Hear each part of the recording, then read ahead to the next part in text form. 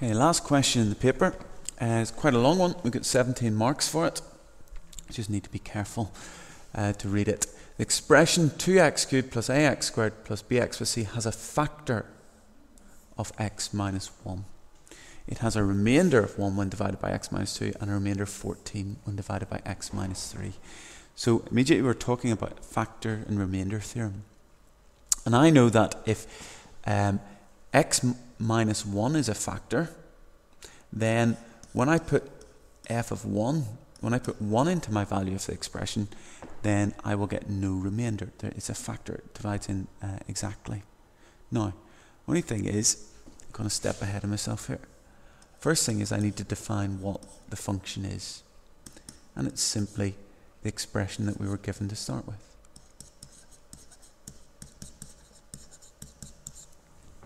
Now when I put 1 into that, 2 times 1 cubed is just 2.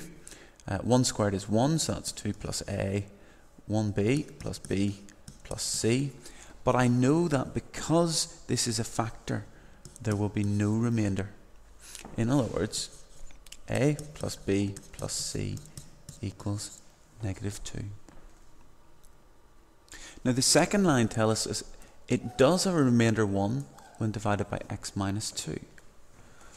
So when I find f of 2 and put that in, I should get a remainder of 1.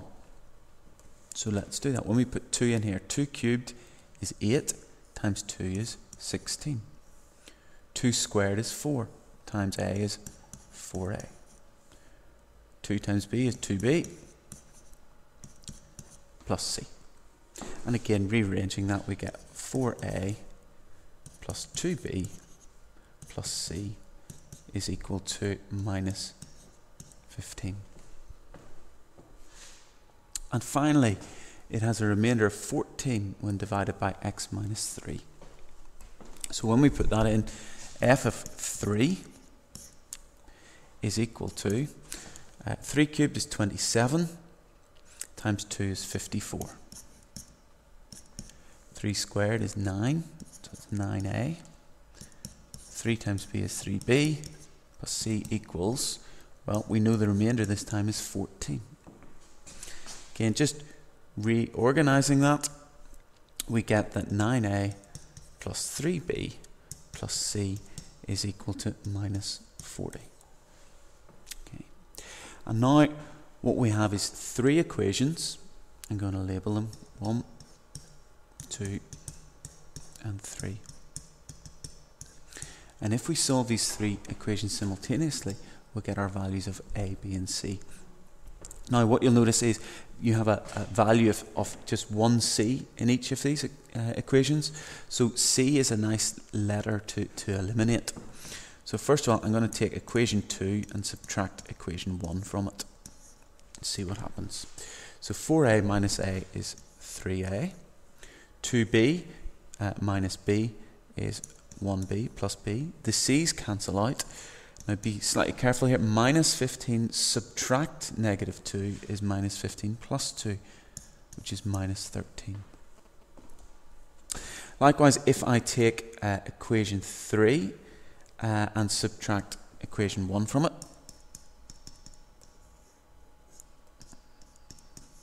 what do I get? Well, 9a minus a is 8a. 3b uh, minus b is 2b plus 2b. c minus c cancels out. Minus 40 subtract negative 2 is negative 38. It's minus 40 plus 2. Okay, now we've got two new equations. We can call this one 4 and this one 5. And these are, again, uh, a wee bit easier to solve we're getting easier as we as we go along here. So I'm going to take equation uh, 4 and multiply it by 2. So 6a plus 2b equals minus 26. And we've got equation uh, 5 there. That's 8a plus 2b equals minus 38 and I'm going to add the two, sorry, subtract the two equations. 8a subtract 6a is 2a. 2b subtract 2b is nothing, they cancel out. Minus 38 subtract negative 26 is minus 38 plus 26, which is minus 12. And so we get that minus a is minus 6. Well, if a is minus 6, let's look at one of these equations again. Then um, 3 times a is minus 18 plus b is equal to minus 13. So we get that b is equal to 5. And then we'll go back to one of these easier equations here, this one here. a plus b plus c is minus 2. Well, minus 6 is a, b is 5, and plus c equals negative 2.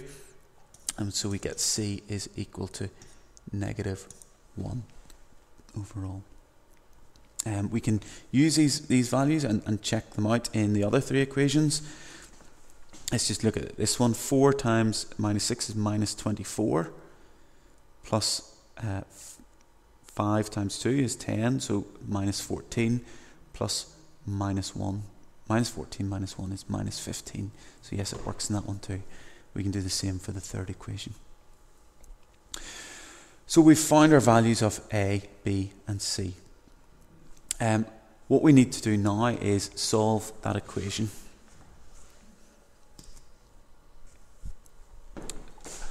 Uh, because we've got 2x cubed minus 6x squared plus 5x minus 1 equals 0. Amazingly, you'll see our value of a is minus 6, b is 5, and c is minus 1, just as we found in the last part. Um, to solve that equation, we need to factorize this uh, expression on the left-hand side. Now, the way we do that is if we look in the, in the first part, if you remember that we were told that x minus 1 was a factor.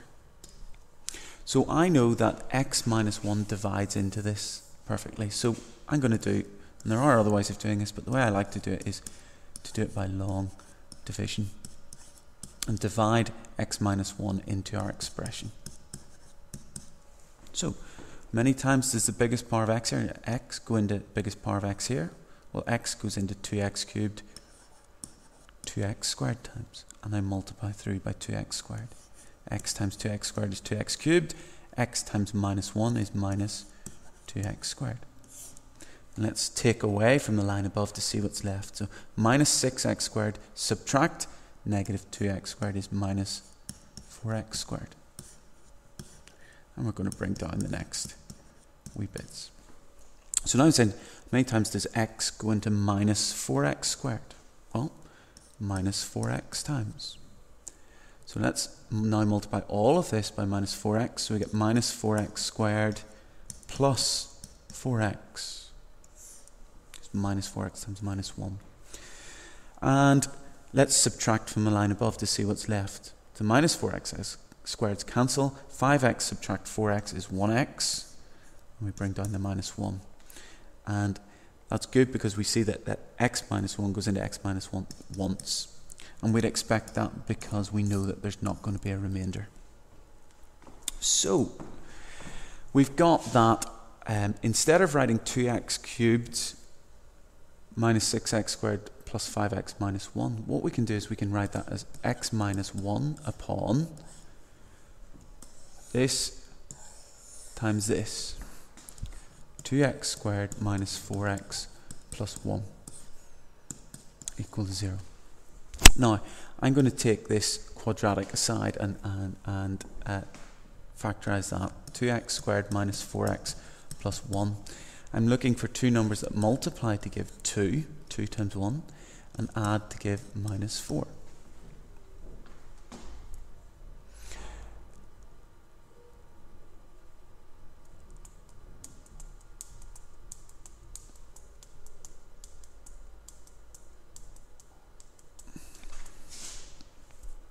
And I puzzled there for a bit because I'm sitting thinking, I can't think of two numbers that, that um, work that out.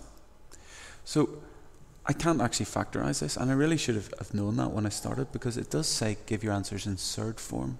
And that's a clue as to, to how this question is going to pan out. Because if we go back to this, we can say that either, if two things multiplied to give 0, then either x minus 1 equals 0, in other words, x is equal to 1, or 2x squared minus 4x plus 1 equals 0. Now, we can't, we've just seen we can't factorize that. But what we can do is either complete the square on that or use the quadratic formula. x equals minus b, so that's 4, plus or minus the square root of b squared, 16, minus 4 times a times c, so minus 8, all over 2a, all over 4. So let's simplify that. x equals 4 plus or minus root 8 all over 4, which is 4 plus or minus, well, root 8 is 2 root 2. It's root 4 times root 2, which is 2 root 2, all divided by 4. Uh, and you'll notice everything in the top line and the bottom line is divisible by 2, so that's 2 plus root 2, all divided by 2 and we're given our answers in surd form. So finally, let's write them out. x equals 1 or x equals 2 uh, plus or minus root 2 all over 2. So you have minus there.